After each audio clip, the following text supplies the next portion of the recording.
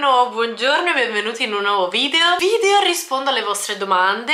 L'avevo fatto qualche tempo fa Vi era piaciuto un sacco. Forse l'avevo fatto a dicembre Non mi ricordo più o a novembre. O comunque non da tantissimo Ma vi era piaciuto un sacco E quindi ho deciso di, di riproporlo. Vi ho chiesto di farmi delle domande sia su Instagram sia su YouTube Quindi le prenderò un po' da entrambi i luoghi. Io direi di non perderci troppo in chiacchiere E di iniziare subito perché le domande sono abbastanza numerose E alcune sono anche abbastanza impegnative quindi credo di essere breve ma io poi quando inizio a rispondere so già che cioè mi conosco e so già che poi parto inizio a dire cose cose e una domanda mi ci, ci vuole un quarto d'ora per risponderci quindi non va bene questa cosa direi di velocizzare subito e di incominciare. Allora la prima domanda che mi viene fatta è quali sono i tuoi obiettivi per il 2022 allora sicuramente bisogna vedere un po' l'andazzo del covid. Prima vediamo come va quello perché in base a quello ci sono degli obiettivi piuttosto che altri. Perché se il covid ce lo permette eh, mi piacerebbe tanto a settembre andare via fare un bel viaggio il viaggio quello della vita. Stiamo organizzando stiamo mettendo da parte dei soldi per poter andare a New York una settimana. Però non sappiamo come si evolverà questo covid speriamo che i vaccini facciano effetto e insomma che per settembre si possa partire con un minimo di serenità ecco senza cioè se a settembre siamo come siamo adesso mi sa che qua non si parte. Quindi questo sicuramente è uno dei nostri obiettivi. Se comunque non verrà fatto nel 2022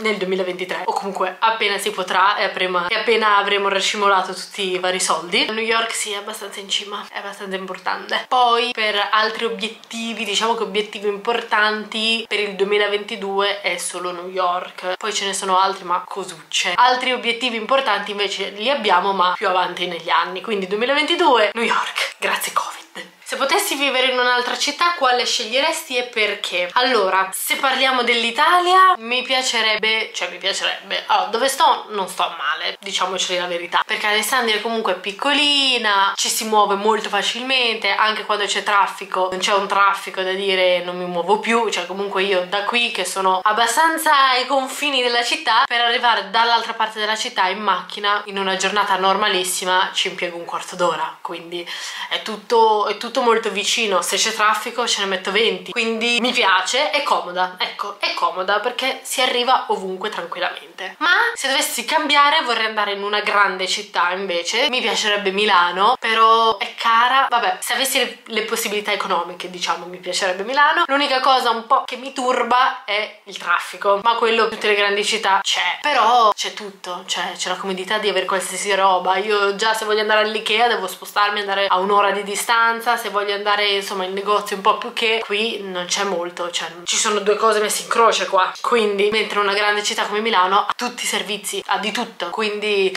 se parliamo dell'Italia Milano. Se parliamo dell'estero perché ci pensai pure diciamo che New York mi piacerebbe molto da visitare ma non sarebbe male viverci sempre se avessi le possibilità economiche. Queste due. Comunque da passare da Alessandria a Milano o New York ecco c'è proprio un salto cioè o tutto o niente insomma. Quindi sì queste due. Ah New York comunque mi piacerebbe perché praticamente vivere a New York secondo me perché comunque non ci sono ancora andata ma mi piacerebbe. Ma vivere a New York secondo me è, sarebbe come vivere un po' ovunque nel mondo perché c'è talmente tante ci sono talmente tante culture diverse tante persone provenienti da ovunque. Poi vabbè io sono una patita mi sono guardata guardate tipo 200 tutti i video che ci sono su youtube di gente che vive a New York italiana di gente che fa viaggi eh, praticamente me li sono viste tutti. Quindi è proprio un pallino una fissa che ho, che ho lì che devo per forza andarci e quindi mi piacerebbe provare a vivere. Avevo pensato anche magari di fare l'ho pensato proprio così alla veloce eh, niente di serio. Avevo pensato a ah, magari fare anche uno o due anni per provare però ci vogliono veramente troppi soldi quindi iniziamo con una settimana poi si vede a vivere. Come va il progetto di crescita su youtube? Ti manca il lavoro che fai facevi? Allora, per chi non lo sapesse, io fino a l'estate scorsa, fino a luglio, fino al 2 agosto in realtà, ho lavorato per Sephora nella mia città, che poi ha chiuso. E bye! Vi ho già raccontato in altri video tutte le varie vicissitudini, non starò qui a dilungarmi, comunque no, non mi manca. L'avevo già detto in un video che hanno fatto per me, cioè quelli di Sephora hanno fatto per me ciò non, di cui io non avevo il coraggio di fare. Vabbè, l'italiano è da sistemare, ma ok, il senso è quello. Cioè io non non avevo il coraggio di licenziarmi perché comunque avevo un indeterminato, Francesco all'epoca lavorava ancora nel, in una trattoria che sapete a periodo di covid la ristorazione era ferma, è stato fermo tantissimo quindi io non avevo il coraggio di lasciare e così anche altri miei colleghi hanno lasciato loro. Quindi loro hanno avuto il coraggio di fare ciò che non, non avevamo il coraggio di fare. E vai! Mi sa che la domanda però era un'altra. Come va il progetto di crescita su youtube? Che ma ti manca il lavoro? Ok quindi il lavoro che avevo no. Il lavoro di crescita su youtube prosegue ehm, ho notato che la crescita si sta focalizzando molto di più su instagram cioè su, su Instagram stiamo diventando eh, abbastanza numerose su youtube va comunque bene sta crescendo un pochino più piano. Poi vabbè adesso è appena finito il periodo de delle feste che è stato il periodo più produttivo per me. Quindi adesso c'è un attimo la discesa però pian piano sto cercando di far risalire. Però procede sono molto curiosa di vedere dove sarò tra un anno. Chissà chissà. Come state? ma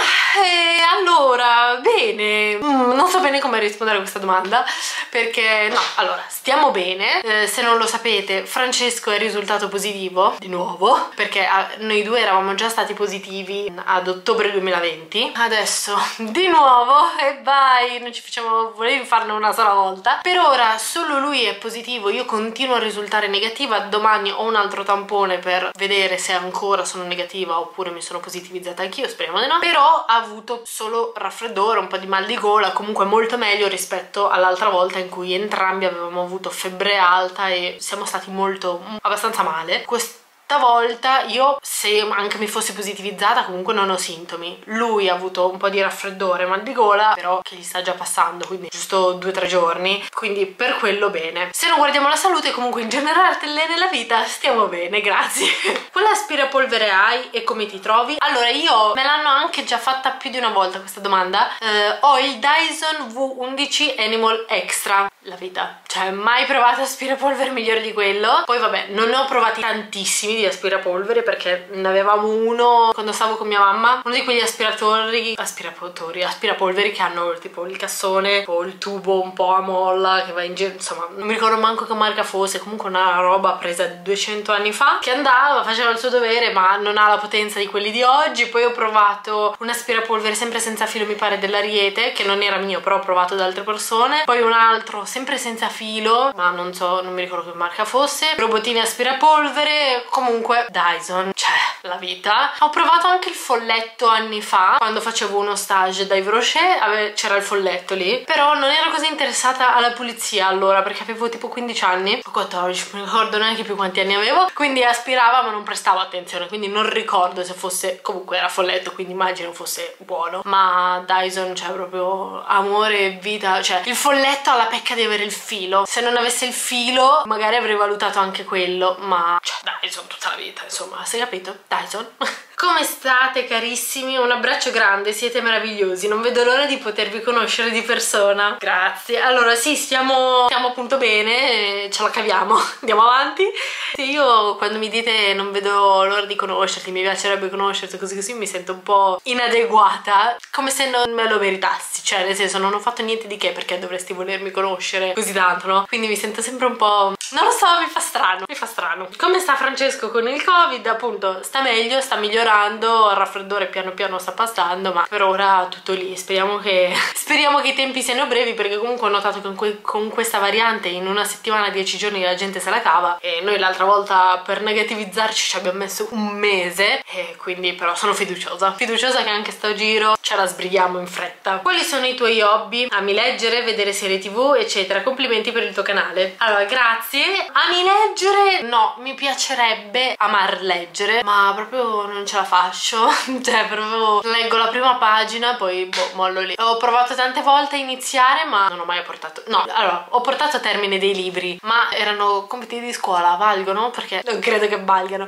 Di mia spontanea volontà ma che si chiamava il vabbè era un libro per bambini non mi ricordo. Comunque un libro per bambini alle elementari vale? Era tipo alto così era proprio un libricino pessima, sono pessima nella lettura. Serie tv invece tutta la vita. E sto guardando molto più serie tv che film. Cioè, serie tv, uh, cioè, a volte non ce ne sono abbastanza che mi, che mi... A volte mi ritrovo ad avere tipo 3-4 serie tv contemporaneamente da vedere, ad esempio questo, perché stavamo guardando The Walking Dead, ma poi nel frattempo che stavamo guardando questo sono, erano uscite le nuove puntate della Casa di Carta, anche le nuove puntate di The Good Doctor e anche Emily in Paris, quindi alla fine avevo 4 serie da dover continuare, un macello, però serie tv adoro, mi piace un sacco anche la fotografia, anche se se non credo di essere così tanto portata dovrei studiarmela un pochino meglio. Vabbè il trucco ovviamente. Poi oggi sono struccata figuriamoci. No comunque sono struccata perché tanto stando in casa col signorino che ha il covid non mi va. Però ho fatto un bel trattamento al naso per i punti neri mi sono messa la mia bella crema e quindi ah tra l'altro per i punti neri oggi scade mamma mia sto mettendo 200.000 discorsi tutti in uno. Oggi scade il mio codice sconto su Luxury Confidence. Lusso 40 per avere 40 euro sul dispositivo per togliere i punti neri andate su Instagram ci sono le storie in evidenza perché a mezzanotte di oggi domenica 30 gennaio 2022 finisce il codice sconto.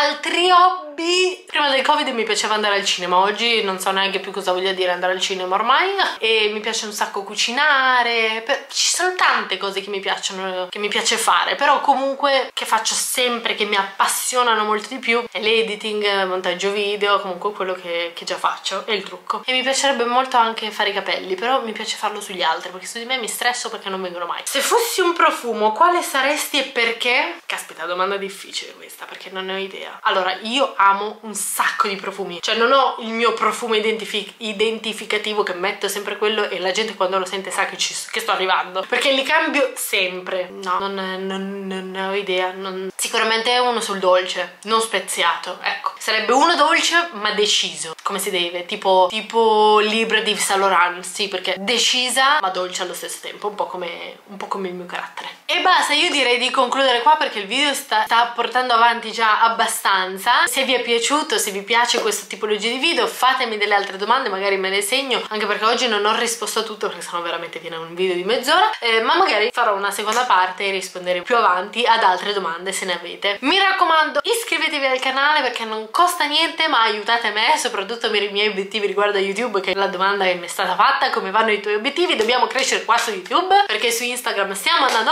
forte ma qui dobbiamo ingranare un po' dobbiamo andare a pari passo con instagram. Dai, dai, dai, cerchiamo di recuperare. Mettete un bel like perché così aiutate l'algoritmo a far girare un pochino di più i miei video in modo che tante persone in più possano, possano vederli e apprezzarli e a me farebbe un sacco piacere. Vi mando un grossissimo bacio. Mi raccomando ci vediamo la prossima settimana se riesco con ben tre video nuovi a settimana. Questo ecco questo è un altro degli obiettivi 2022 riuscire a fare almeno tre video a settimana. Ci riuscirò? non lo so. Voi intanto mettete like e iscrivetevi così mi stimolate e vai. Ciao